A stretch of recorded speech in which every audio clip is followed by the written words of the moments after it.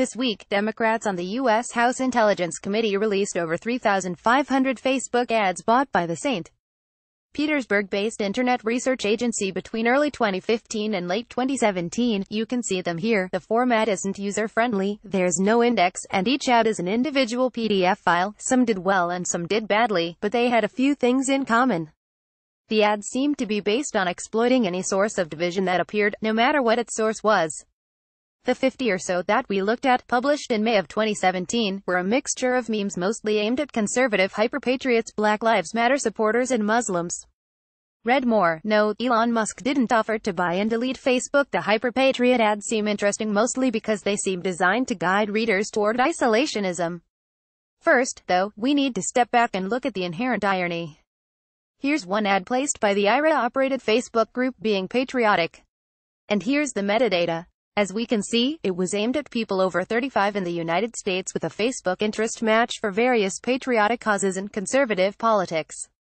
The price, 1,006 rubles, or $16.26 US. Here's another being patriotic ad, with the shaky English that many of the ads show.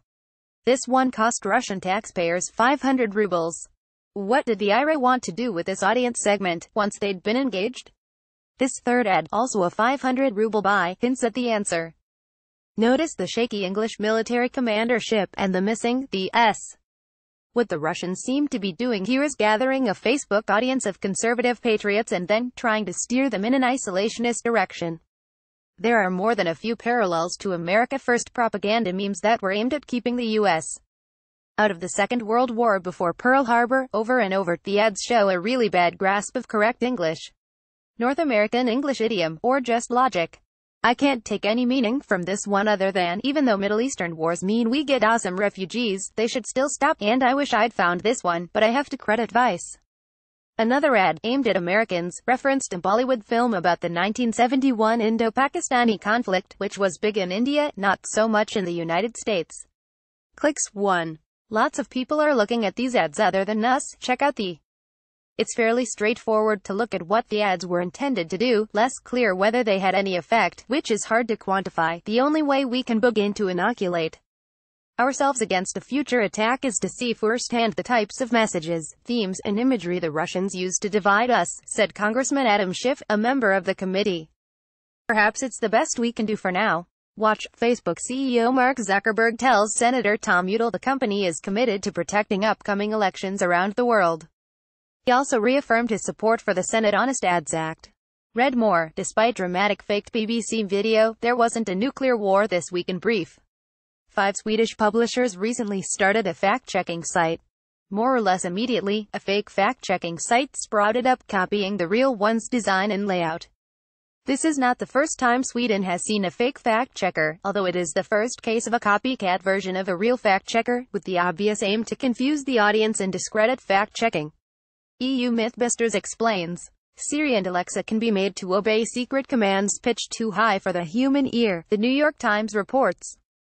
Researchers demonstrated they could control voice-activated devices with commands embedded in songs that can be broadcast over the radio or played on services like YouTube. Facebook is set up to make social connections efficiently. One context in which that happens, introducing thousands of ISIL sympathizers to each other on the platform, The Telegraph reports.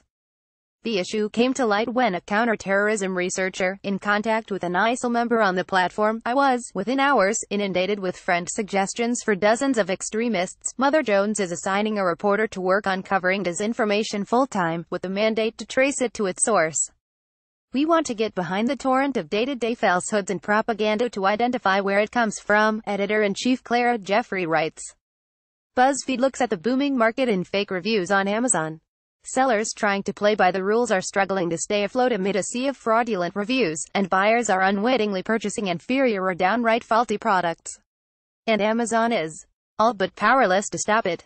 Read more. No, you can't cash in if your Facebook data was leaked to Cambridge Analytica. Copyright 2018 Global News, a division of Corus Entertainment Inc.